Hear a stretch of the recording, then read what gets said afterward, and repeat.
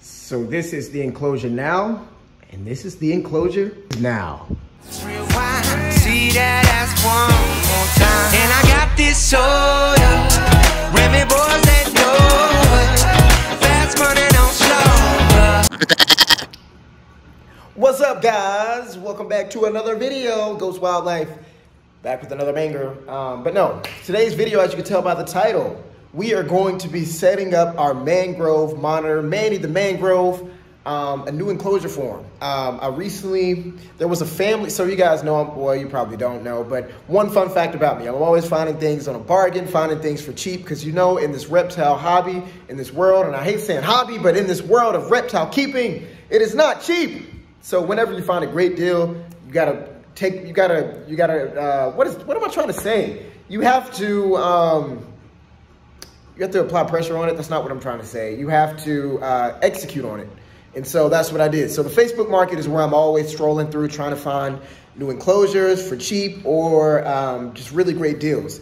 And so um, this is what I found. I found a really, really great deal on a uh, nice 50 gallon or 45 gallon size um, front opening enclosure. And it's just the perfect size for Manny, my mangrove. Um, and you know I will continue to upgrade and upgrade, but uh, he's fairly small right now, so um, I will be. I can't wait to get those big immaculate enclosures, but until then, we're gonna work with uh, these smaller ones, and we're going to um, be decking it out. So Manny the Mangrove is going to have the perfect, well, like really nice enclosure um, by the end of this video, and uh, you guys, I hope, are going to enjoy it.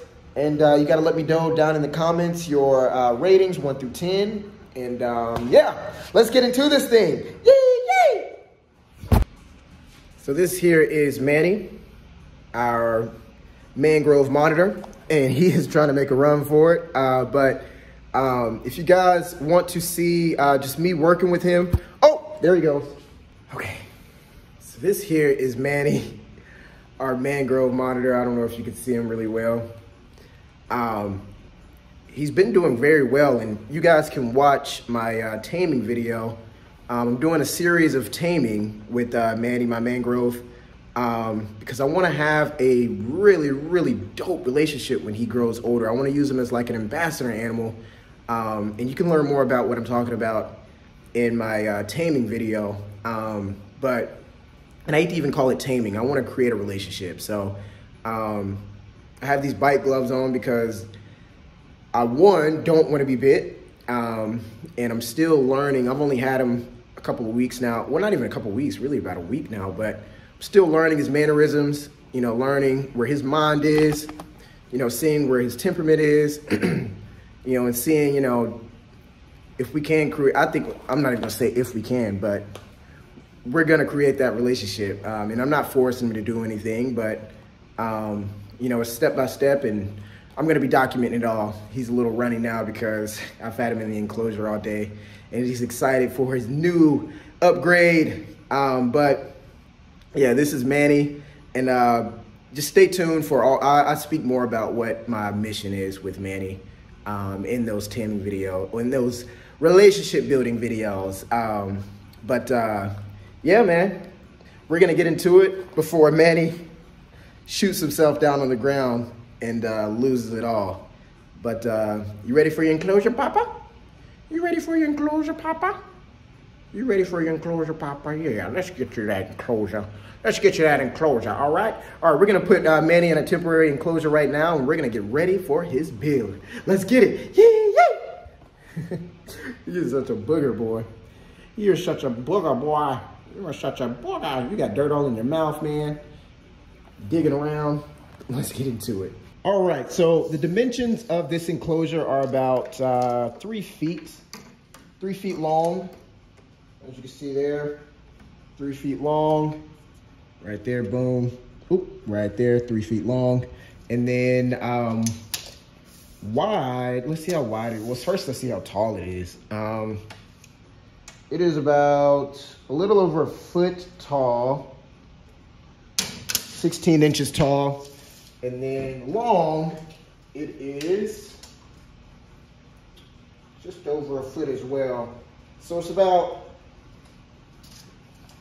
three feet long, a little over a foot wide, well, three feet wide, a little over a foot deep, and a little over a foot tall. So this is an amazing enclosure. And as you guys can see how small Manny is. I mean, I uh, put him in here just to see what it would look like. And I mean, he's like, it's so small.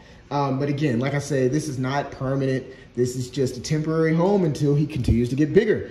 And um, I will be moving from my uh, from where I live pretty soon. So this will um, be coming with me, but it'll also be a uh, it can be a new home for one of my other animals as well. So um, let's get into this thing. I'm talking too much. First thing I'm gonna start off doing is uh, just emptying all this stuff out and then we're gonna get some bedding in and uh, just build from the ground up. Nice piece of bark. Well, this is, boy. The family sold me this for 50 bucks. 50 bucks for the whole thing. Gave me a UVB light, gave me this these logs. Bro, this stuff is expensive. I don't think they know. It was one, so the, the owner of the, uh, the guy who sold it, well, the family who sold it to me, really nice family. Um, he was telling me how, he was like, yeah, you know, how your kid wants a bearded dragon. You know, we buy them the bearded dragon when they're a little weenie. And when he got older, my son got older, the bearded dragon got bigger, and my son, you know, grew out of that phase. And that's typically how the reptile world works um, for people who don't really care about the, the, when people don't really care about the hobby or the, the uh, you know, reptile keeping, they tend to buy things and don't really understand how big it can get or, you know, years to come and they're like, oh, I don't really care about this anymore. Um, and so I don't oppose people from buying animals you know, something like a bearded dragon, but like, especially when you have monitors and stuff, this is like a lifelong commitment. And so it's good to do your research because unlike a bearded dragon, um, monitors get huge. So this is a lifelong commitment. And so you have to it can't it can't be something that you you know you just wake up and say I want and then you don't know what the heck you're doing. So I encourage research um, and you know if you do decide to rehome like this family did, um, you know there's nothing wrong with rehoming. Um, he made sure that it went to a great home, which I encourage you to do. If that's ever you, make sure it goes to a good home and um, you know make sure that you keep it in the best care so that the next person can continue that care and they're not having to start from scratch with a sick animal or anything of that nature. But um, yeah, got this whole thing for 50 bucks. It was a steal. Um, they just needed to get it off their hands. And so I got it off their hands. But as you can see inside here, I'm gonna get this off the tripod. If you can see inside here, there's a there's a hole in there um, I'm not sure what they were doing with this hole, but uh, what I'm gonna do is, um, what I'm gonna do, hopefully you guys can hear me. What I'm gonna do is uh, tape that over with electric tape um, so that my, I don't think Manny will get out of there. The hole is small, but even then it's like, he's trapped with these like little, he can't get out if he was in here. Now that would be a bad, we're gonna take this thing down because if he gets out of there, then he might be under there for a while and could die. Um, we're gonna seal that hole. We're gonna seal that hole. That just scared the heck out of me. Just thought of it just scared me. Uh, so yeah, we're gonna tape that down and uh, get that taken care of because I don't I don't want anything like that to happen. All right, so we're getting this tape down here. It's really cool because I'm using like the top of the cage to uh, to get this down to keep the camera rolling. Um, things we do for you guys for content. Um, golly, I ripped that thing. It's a little cheap Dollar Tree uh, electric tape. Um, but uh, hopefully he doesn't find a way to get down in here um, and get, you know, cut this open. Because, you know, mangrove monitors are burrowers. They love to burrow, which is also cool about this enclosure because there's like a, there's like a, uh, excuse the poop, as you go, mangrove monitors poop a lot as well and I had him in here. He when mangrove monitors love to defecate on you, and so whenever you go in to grab them, they start pooping and stuff. So I'm going to clean that up. But um, this is about you know half a foot of space to where we can, you know, put substrate. I don't think I'm gonna do that that deep, um, you know, because I don't wanna completely lose him in here. And so we'll just have to play it by ear, but yeah, this is, uh, I think coming together fairly well. I think this will work. And I'm gonna also tape the bottom of this as well. So I'm gonna get under the cage and tape that down so that so that uh, there's no excuses for him to get out. Well, there's no not excuses, but no way for him to get out at all. And we don't have any issues. And I check Manny every day, so even if he did get down in there, I check him every day. I try to find him every day. Um, try to not really bother him, but I try to um, just do welfare checks on him. And again, it's a part of the uh, socialization and friendship that we're trying to build. Um, I want to be able to see him every day. I want him to see me every day and understand that I'm not here to hurt you. I'm just here to feed you and uh, create like a really long, really great relationship. All right, so we've got our substrate in. Uh, again, this is peat moss. Um, and uh, the reason why I enjoy peat moss is because it holds humidity fairly well. Uh, you spray it down and it gets fairly, really, really, uh, you know, moist and damp and it holds for a little while. Um, and so it, uh, it's kind of like a cheat code for humidity, especially in these glass enclosures that don't hold humidity very well. Um, but, you know, for a mangrove monitor, you want to make sure that your substrate is a few inches deep. Uh, again, uh, mangrove monitors love to dig, love to uh, burrow, um, you know, in these little pits and stuff. I mean, he can dig in there and uh, do his thing. You can also mix this in with, uh, you know, some other substrates and stuff so that whenever he creates these mounds, he can, uh, you know, this will hold structure. Right now, this peat moss doesn't hold structure uh, very well, but what I typically do is I'll use like hides that I'll create hides for him in a sense. Um, so like I'll have like a tree hut where it'll sit there and he can like bro it's it's hard to explain but uh, you want to make sure that you know this is a few inches deep and um, you know he can burrow in that substrate uh, fairly easy and well. Now that we got the substrate and everything in there we're going to start putting in our uh, decor. So i like to use bricks because bricks as you know concrete um, holds heat very well. So you can get belly heat as well as you can get heat from uh, my heat emitter as well as my uh, heat um, bulb. I hate to call it a bulb. Well, it is a, it's a floodlight. I recommend floodlights because they uh, radiate heat as opposed to spotlight heat. You want to get a, a basking uh, lamp and not a basking bulb because basking bulb, spotlight, and um, uh, basking lamps radiate. You want to radiate. You don't. You don't want to spotlight. Spotlights burn your animals, and um, uh, radiation just radiates. I could be saying that wrong, but it spreads. It spreads around, which is what you want. So we're gonna put this there.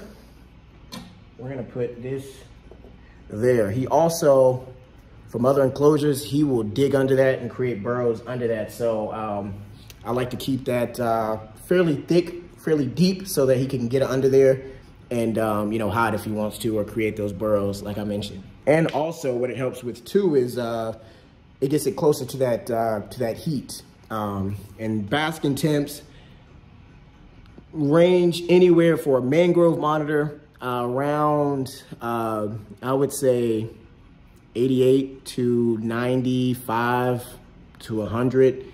Um, you're not going to kill your animal with the 100 degree basking temperature, but um, especially with the big enclosure like this, he can move around and you know get in certain spots that he wants to. But uh, basking temps are usually around 88 to 95, and you can use 100. I mean, sometimes with this being up on the window, which is why I like the natural light, um, it creates a uh, very, very hot basking temp. So sometimes I'll cut the, uh, the bulb off and just keep the emitter on just 24 hours so that the, heat, the temperature stays good within the enclosure, but it's not too hot. Um, so I always like to put the water ball close to the uh, outside so I can change it out, clean it out. Um, as you know, monitors defecate in their water sometimes, so I'll have that right there and clean it out. And I promise by tomorrow, after he gets done exploring, I'll have to switch that thing out again because this is going to be brown and dirty and it's just a huge hassle when you have monitor lizards. They just like to just tear up their water bowl and it's like,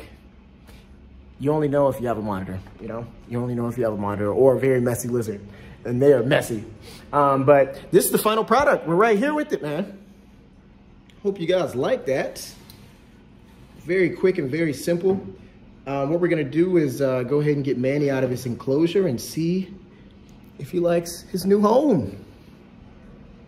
Here goes Manny, who is trying to get gone. He's like, let me see my enclosure. Let me see my enclosure, Papa. He's over there checking out his uh, enclosure. Oh, oh, oh, oh, oh, oh, oh. And there he goes, off to the races. But uh, yeah, man, uh, we're gonna check out Manny in his new place, see how he uh, likes it before he gets hiding. And um, yeah.